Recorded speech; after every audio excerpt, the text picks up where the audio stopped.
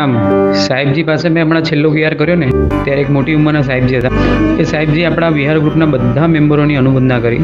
એમણે અનુમોદના કરતાં કરતાં એક વાત કરી કે અમે આટલું સંયમ જીવન પાળીએ છીએ ને, એ સંયમ જીવનમાં અમે જેટલું પુણ્ય કમાઈએ, એના કરતાં તમે માત્ર એક વિહારમાં અમારી સાથે આવો ને, એમાં તમારા ભાવ જોડાય, તો તમે અમારા કરતાં વધારે ચડિયાતા થઈ જાઓ.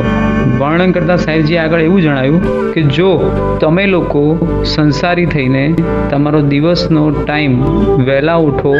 અને ધંધો કે એ જગ્યાએ પહોંચવાનું હોય, રાતનો આરામ કર, થાકીને ઘરે આવ્યા હો છતાં પણ અમારી સાથે વિહારમાં આવો છો તમે. એની માટે તમે જે ઘડીએ તમારા ગ્રુપના વડીલ વિહાર માટેની તમને વાત કરે અને તમે એ વાતને જ્યારે પણ સ્વીકારો, એ ઘડીથી તમારું પુણ્ય બંધાવાનું ચાલુ થાય. તમારા ભાવો ધીરે ધીરે ઉચકાતા જાય. હું કાલે સાહેબજી જોડે જઈશ. મારે એની માટે પાંચ વાગે ઉઠવાનું છે. ઘરમાં તમે જણાવી દો કે ભાઈ હું કાલે વહેલો જવાનો છું. મારે આ ઘરે આવીને પછી આ કામ કરવાનું છે, મોડો પડીશ, તો હું ઓફિસે આ ટાઈમે જઈશ. એ માટેની પૂર્વ તૈયારી તમે એક દિવસ પહેલાં કરો. તમે કલ્પના કરો કે તમે રાતે પણ સૂતી વખતે એક જ તમારા ધ્યાનમાં હોય કે સવારે પાંચ વાગે મારે સાહેબજી જોડે વિહારમાં જવાનું છે.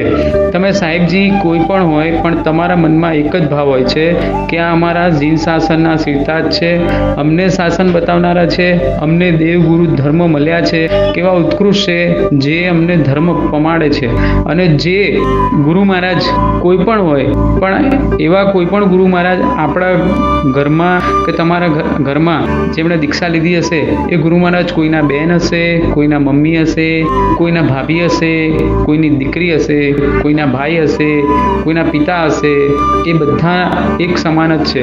એટલે એ તમારા ભાવના કારણે તમે એ ગુરુ મહારાજની સેવા કરવા માટે, એટલે કે એમની વ્યાવચ માટે તમે જે ભાવ ભાવ ભાવ, ભાવના ભાવો છો એ ભાવનાના કારણે કદાચ તમારા પરિણામ ઉચકાય તો તમે અમારા આખા સાધુ જીવન કરતાં પણ વધુ પુણ્ય બાંધી શકો છો.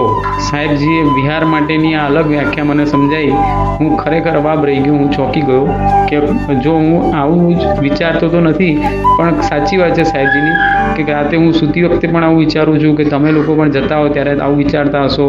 એ વખતે તમે સાહેબજી સાથે ચાલો છો. તો તમારા આ જીન શાસનના સિંહ છે, એની તમે રક્ષણ કરવા માટે આગળ પાછળ ચાલો છો. એમને કોઈ તકલીફ ના પડે, એની માટે તમે એમની સાથે રહો છો. એમને કોઈ હેરાનગતિ ના થાય. એમનો વિહાર સંપૂર્ણ પતી જાય. એક યક્ષ દેવ જેમ એમનું રક્ષણ કરે, તેમ એક સાધારણ મનુષ્ય થઈને તમે એક ઉત્કૃષ્ટ કામ કરવા જઈ રહ્યા છો. એવી તમારામાં જે ભાવના પ્રગટે છે, એના વિશે સાહેબજીએ ખૂબ ખૂબ અનુમોદના કરી છે. અને કીધું છે કે, નિલેશભાઈ, આ વાત તમારા ગ્રુપના દરેક વ્યક્તિને જણાવજો. એટલે મારાથી કંઈ બોલવામાં ભૂલ થઈ હોય તો ઈચ્છા દુઃખ પણ જો તમે લોકો ટાઈમ કાઢીને દરેક વિહારમાં જાઓ. ખરેખર, સાહેબજી સાથે ખાલી વિહાર કરીને જવાનું નથી, પણ સાહેબજી વિશે જાણવાનું છે. સાહેબજીએ કેમ દીક્ષા લીધી? સાહેબજી શું કરે છે? સાહેબજી ક્યાં જવાના છે? સાહેબજીનો સંયમ જીવન કેવું છે? સાહેબજીએ કેટલા નિયમો, શું શું કર્યા છે?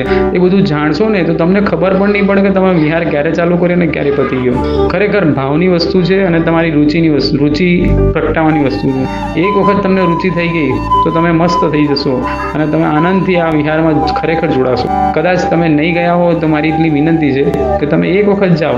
કોઈ પણ સાહેબજી છે કે સાધુ ભગવાન છે, વાત કરો. તમને વિચારો કે તમે વાત કરશો ને તમને રોવું આવશે. કેમ? એનું કારણ તમને કહું કે ગુરુ મહારાજ તમારા ઉપર એટલું બધું નોછાવર કરવા માટે બેઠા છે ને, જે તમે ઘરમાં પથારીમાં સૂતા સૂતા નહીં પામી શકો. એ ગુરુ મહારાજ તમને એટલું બધું આપશે. એનું વર્ણન મારાથી થઈ શકે એમ નથી. તમે ખાલી બાજુમાં ચાલો. તમને ગુરુ મહારાજ એટલું બધું કહેશે. મારા ખ્યાલથી ગુરુ મહારાજ તમારા હિતના જ શબ્દો બોલશે. તમારો અહિત થાય એવા કોઈ પણ શબ્દ નહીં બોલે. તમને એક વખત જવાન માટે આ વિનંતી છે. જવું જોઈએ તમારે બધાએ.